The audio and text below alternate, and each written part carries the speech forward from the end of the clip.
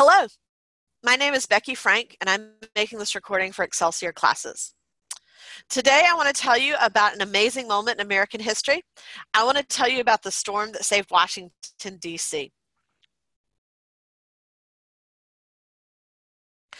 This uh, story takes place during the War of 1812. Even though America had gotten its independence in 1783 with the Treaty of Paris, we were not being recognized as a sovereign country by Great Britain. They continued to interfere with our trade with other countries. They were pressing our sailors into service in the British Navy, and they were assisting the Indians in their resistance to American settlement in the Northwest. And so, after we had exhausted our diplomatic options, in June of 1812, we declared war on Great Britain. Um, it was not a unanimous declaration. Some people saw our trade with Great Britain being important despite all the trouble. Um, others just felt we were not prepared for war, which we were not. Our standing army at the time was only about 6,000 men, and our navy was comprised of 17 ships. So, as you can imagine, it went pretty badly for the Americans in the beginning. Um, the good news is it could have been worse. The British were occupied fighting Napoleon in Europe and were not able to devote a lot of energy to uh, the war in North America until Napoleon was defeated in 1814. Once Napoleon's out of the way, they send three armies to North America. One will go to Canada, one will go to New Orleans, and the third will come to the Chesapeake Bay area. Now, President Madison and his cabinet had discussed possible targets in the Chesapeake Bay area, and they all felt that the British would head straight to Baltimore. It was a major port for the region. Um, they discussed Washington, D.C., but they felt it was too insignificant. It was a very small um, town even only had about 8,000 residents. Most of the government buildings were not even completed in their construction. But the British do head to Washington, D.C. because they see this as a symbolic capture.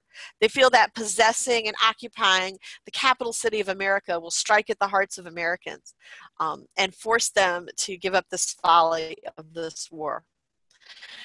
Um, on August 24, 1814, British troops led by General Robert Ross and Rear Admiral George Cockburn meet the Patriots at Bladensburg, Maryland. As you can see, Bladensburg is very close to Washington, D.C.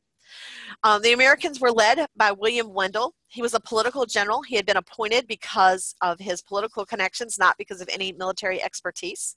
Um, but he knew enough to know it was not going to go well for the Americans. Um, probably even more so because President Madison was there observing the battle. And Secretary of State James Monroe jumped right in to help by helping organize the troops. I'm not sure General Wendell appreciated that help.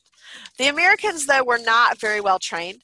They also were not very well outfitted. Many of the soldiers did not have boots. Some of them did not even have flints for their rifles. Um, most of them had not been in battle before.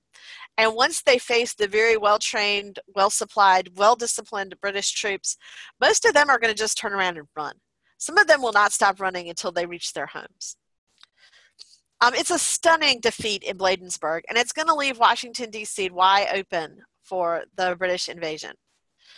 Uh, Mrs. Madison was planning one of her um, famous dinner parties she was expecting 40 guests at 3 p.m. and had the table set and the food prepared. But she hears the British are coming and is urged that she must leave the White House. She does so only after famously saving George Washington's portrait that had been printed by Gilbert Stuart and a copy of the Declaration of Independence that were in the president's house at the time. It's a story for another day. Um, the British arrive in the city, go to the president's house, sit down and help themselves to Mrs. Madison's meal before setting fire to the place. Um, they will, while they are in DC, set fire to the Capitol building, the Supreme Court, the Library of Congress, the Treasury building, and the buildings housing the Department of State and the Department of War. Um, they will also ransack the office of the Natural, National Intelligencer let me try that again. National intelligencer newspaper. And um, admiral Cockburn will request that they remove all the c's from the newspaper office so that nothing bad could be written about him once they leave. Um, they're so busy ransacking and pillaging the city of Washington that they do not notice on the afternoon of the 25th that storm clouds are gathering. Um, a tornado will be spawned near the Capitol and will attack the British troops as they are in Washington, D.C. Um, the tornado will tear buildings from their foundations, uproot trees, and um, even um, pick two cannons off the ground and they will land in columns of soldiers. Um, they inflicted more casualties on the British Army than the invasion of Washington, D.C. had. Three tornadoes will be spawned that day, although we think maybe they were all part of the same tornado. It's hard to tell back then. We didn't have Doppler radar recording everything. Um, and that was followed by two hours of torrential rain, which put out most of the fires. Um, tornadoes in Washington, D.C. are extremely rare. Um, in fact, since 1814, when this happened, only seven other tornadoes have been recorded in Washington, D.C. Um, they may have been spawned by a thunderstorm. It could have been the remnants of a hurricane that came through. Again, we didn't have the weather tracking abilities in 1814 that we have today to, to know exactly why they were spawned or, or how. Um, but the storm cut the occupation of the city to a mere 26 hours. The British are done.